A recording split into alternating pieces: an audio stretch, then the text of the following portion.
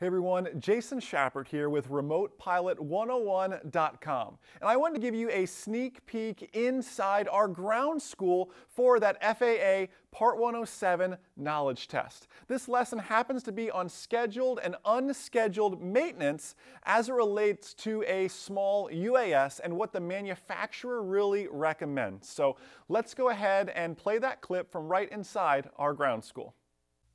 What does the FAA have to say in Part 107 in regards to unmanned aircraft and their maintenance schedule?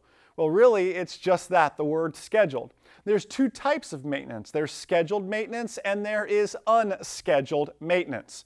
Now, maintenance for small UAS includes scheduled and unscheduled overhaul, repair, inspection, modification, replacement, and system software upgrades for the unmanned aircraft itself and all components necessary for flight. We learned about this in the previous video on required pre-flight action, that if the manufacturer comes out with a firmware update and I'm not up to date, I'm not legal for that commercial operation. My aircraft at that time is unairworthy because I've fallen out of airworthiness because my lack of updating that firmware, my lack of following that scheduled maintenance protocol. And let's talk about that. Let's talk about what does the manufacturer actually recommend. Now, manufacturers may recommend a maintenance or replacement schedule for unmanned aircraft and system components. Listen to this part. Based on time in service limits and other factors.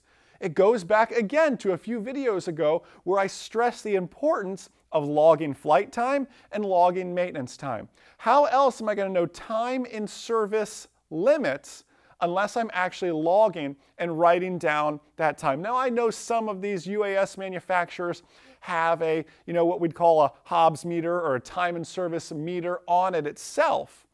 But still, we need to be logging that time, putting it to paper or putting it in some sort of electronic logbook. It can be an Excel spreadsheet. It doesn't matter. We need to be logging flight time. We need to be logging maintenance time as well. When dealing with the FAA, if there forbid were to be an accident, it's all about covering ourselves and making sure we did everything to a T, able to prove that that was all done. Keep a paperwork trail. Let's keep reading here together.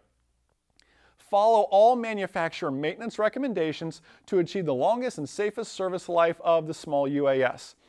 If the small UAS or component manufacturer does not provide scheduled maintenance instructions, it is recommended that you establish your own scheduled maintenance protocol. It will talk about this more in our pre-flight video coming up, but let's continue with that manufacturer's recommendation type theme. On your screen it says, in some instances, the small UAS or component manufacturer may require certain maintenance tasks be performed by the manufacturer or a, by a person or facility, personnel specified by the manufacturer.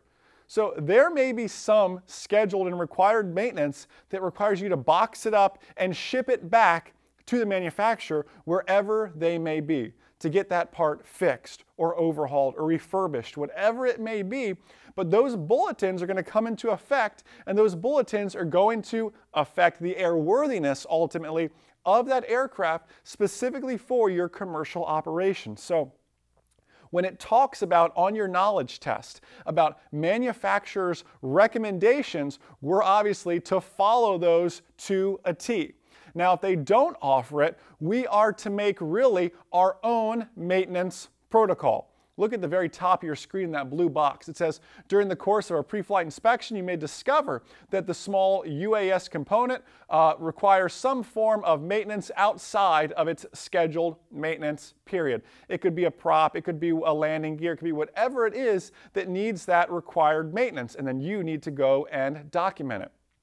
We are to document any repair, modification, overhaul, or replacement of a system component resulting from normal flight operations. This is normal wear and tear. This isn't from resulting from a crash, from an accident, something like that. This is just normal wear and tear is what it's talking about. Second bullet point says, record the time in service for that component at the time of the maintenance procedure. Guys, gals, everything I'm reading to you, these three bullet points, are all going to be on your Part 107 knowledge test. So I hope you've taken a screenshot of this, you're writing this down, you understand what it's asking, because these are all answers on the knowledge test. Third bullet point says this assess these records over time to establish a reliable maintenance schedule for the small UAS and its components. So it's saying to start out and fix things as need be but keep a log as you fix it. Then, when you get six months, 12 months worth of data, go back over that data and let's look for the trends. Hey, you know, geez, it seems like every month I'm putting new props on this thing. I'm just going to make part of my protocol that every 30 days I'm just going to replace the props, whatever it may be. Hey, every six months I'm going to get rid of these batteries and I'm going to just put new batteries in so I don't have to worry about an airborne fire or anything like that and you establish your own maintenance protocol, then you, that's something you can put in writing and keep it with you when you're flying. So again, forbid there were an accident, you can say, this is how I log time, this is how I log my maintenance. Here is my maintenance protocol I follow because my manufacturer hasn't specified one. Or even better, here's my manufacturer's specified maintenance protocol, and here's how I go above and beyond what they say. You know, I, I, get the gold star in maintenance because I go above and beyond what this particular manufacturer has to say. They say change the props every six months. I'm changing them every three months, whatever it may be. Maintenance is so crucial. And I promise you, now dealing with the FAA, and there's going to be accidents, you're going to want to have that paperwork trail to back you up. And again, Looking at this slide, those three bullet points right there are three answers to three knowledge test questions. Make sure you fully understand that, and I'll see you guys in the next lesson. See ya. I hope you guys really enjoyed that. To see the entire thing, to see the entire ground school, go to remotepilot101.com to get signed up. It's one flat fee. The course is yours for life. If you enjoyed this video, you're going to enjoy the dozens of other videos to help you pass that Part 107 FAA knowledge test with flying colors. Visit remotepilot101.com and I'll see you guys inside the course. See ya.